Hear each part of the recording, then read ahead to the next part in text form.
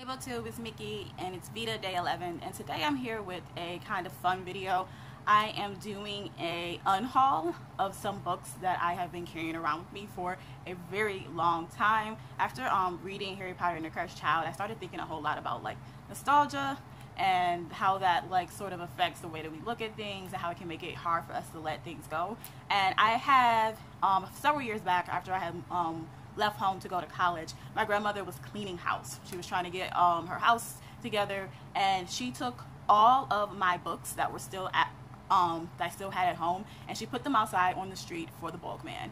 And I came home and I saw them out there and I was like, what are you doing? She's like, I'm getting rid of them. They, she's like, she's like, I'm not keeping them in my house. And I'm like, well, what? I was like, those are really good books. And she was like, well, you got to do something with them. So I packed them all up and I took them with me and I've been carrying like a vast majority of them with me um, from apartment to apartment, from place to place as I've been moving around um, since like my early 20s. And so I um, have several books from my teenage years that I've been keeping.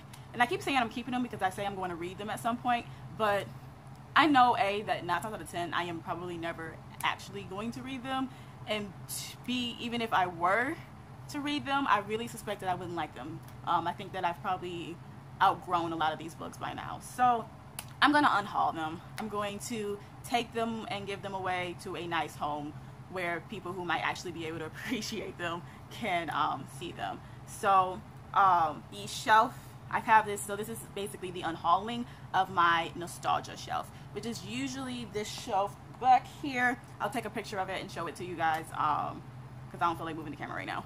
Um, but here are some of the books that are on the shelf. Almost all of them are series because um, like lots of teenagers, I was obsessed with series.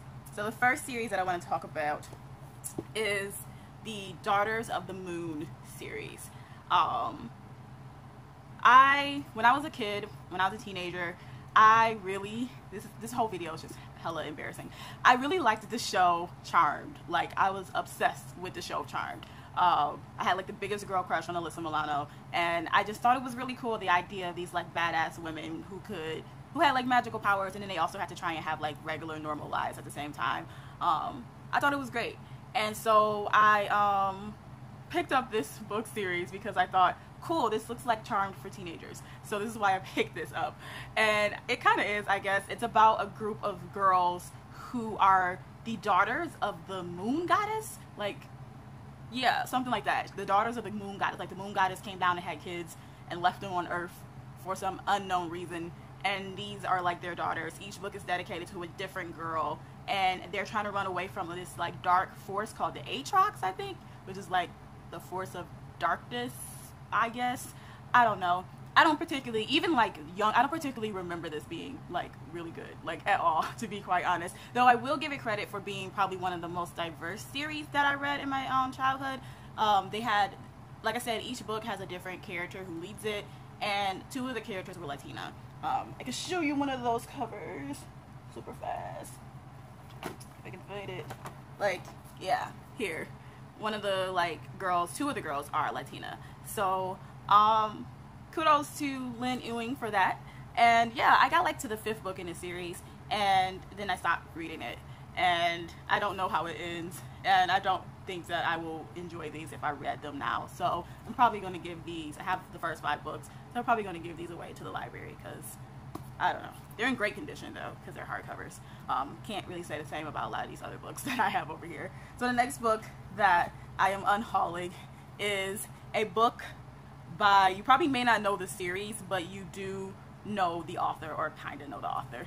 And that is the Orphan series by V.C. Andrews. Oh, this is really shiny. I might not be able to hold this up the whole time. Um, so this was written probably by a ghostwriter by V.C. Andrews because it was published, I think, in the like 90s. So obviously it was not written by V.C. Andrews herself. But this was basically a series that was dedicated to a set of orphans who were living in an orphanage, all, all female, all girls. And um, each book is dedicated to one of them. So this book is dedicated to Crystal. There was one for a girl named Butterfly. I can't remember the other girls' names. Um, and then there was a, it, the last novel in the series was like, it was called Runaways, and it was about all four girls and them running away from the orphanage and the adventures and crap that they get into. So, like most V.C. Andrews novels, this is full of like horrible like sexual taboos. Um, I believe this girl Crystal is like adopted by a woman who's like trying to get find her own like mini me. So she's kind of like she tries to like turn Crystal into her, and then I think her husband starts paying like undue attention to her. Like, it's really bad. But little me loved this freaking series. Like she really loved it. Like I bought it. I have like the first, I had like two of the books in the series and had every intention of getting all of them. I might check out the rest of them from my library, but like, yeah, this is bad. I'm definitely getting rid of this. Though there's a part of me that really wants to check out the Runaways novel from like the library out of like sheer curiosity because I'm like, what happened? I can't remember what happened in it besides the fact that they run away.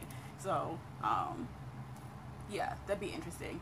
The next thing I've got is a really popular series that you guys probably already know about, and that is the Gossip Girl series by Cecily von Ziegesar.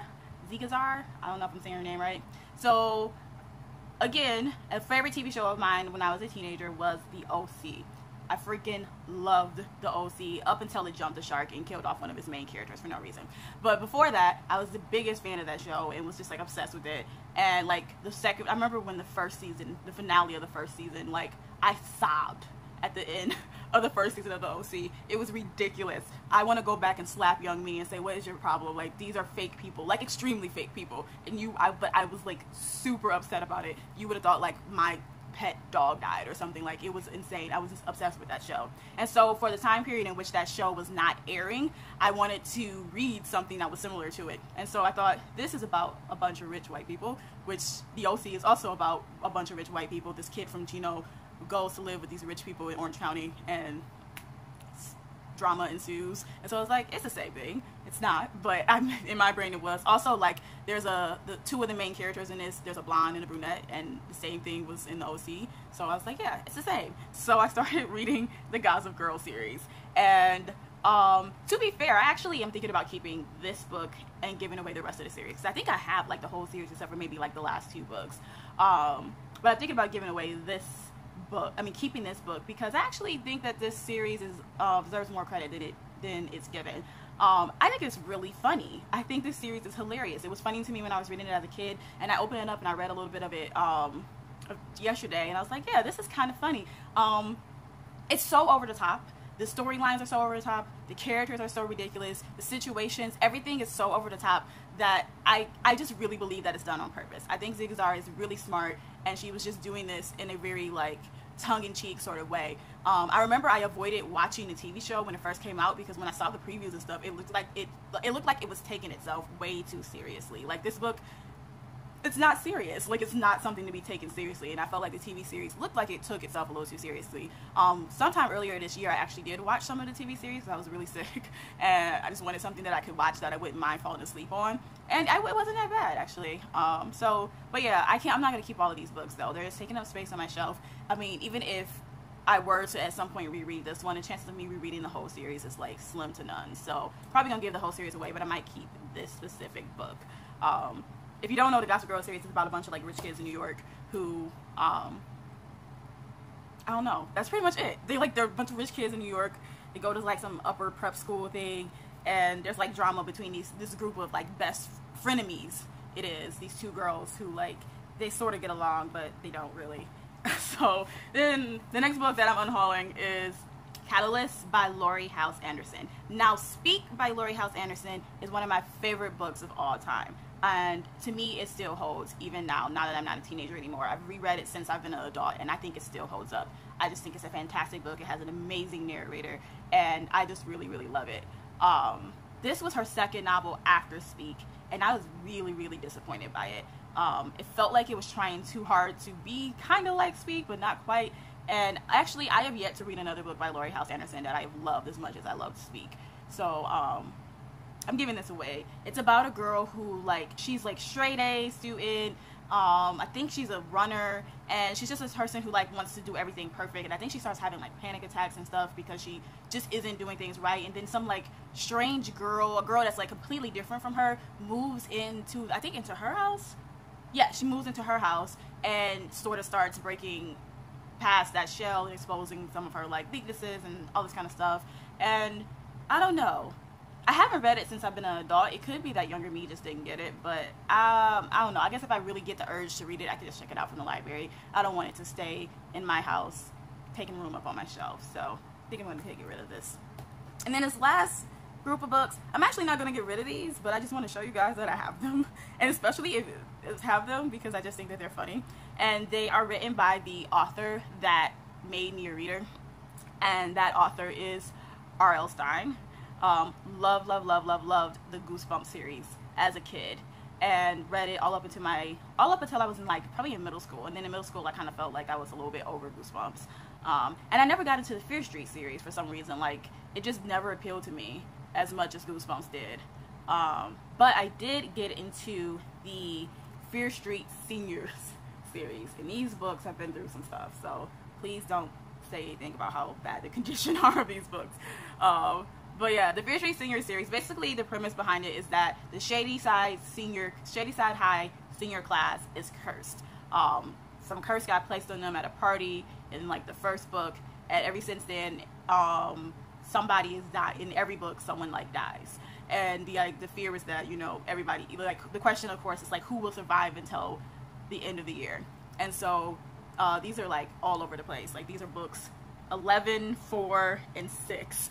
So um, I didn't own a lot of these. Actually, I borrowed most of them from my best friend Stephanie, and we were like obsessed with it. But like, I really, the nostalgia I feel for these this series is really strong to the point where I don't think I'm gonna be able to um to get rid of it. Like I really don't. Um, so I'm gonna show you really quickly. I'll show you the book. Like in it, in the beginning of the books, they have like the yearbook. It's like Shadyside High yearbook and then like you look through it and then there's like rest in peace you know people are those who are dead.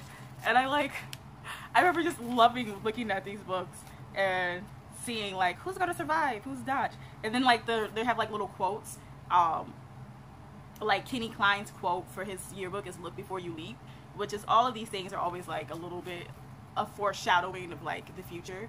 Um of future events and stuff. And like, I don't know, I was like obsessed with these.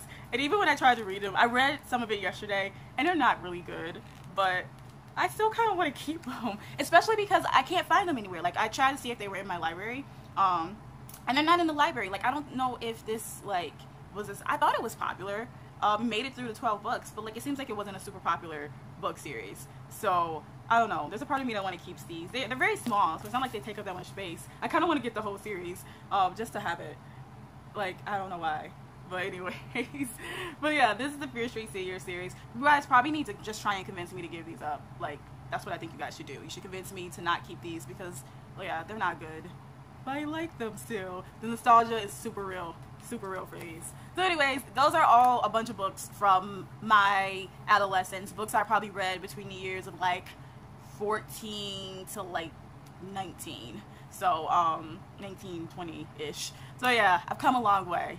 Um, so let me know what type of things you used to read as a teenager um, or what are some things that you might be embarrassed to talk about having had in your library because these are kind of embarrassing.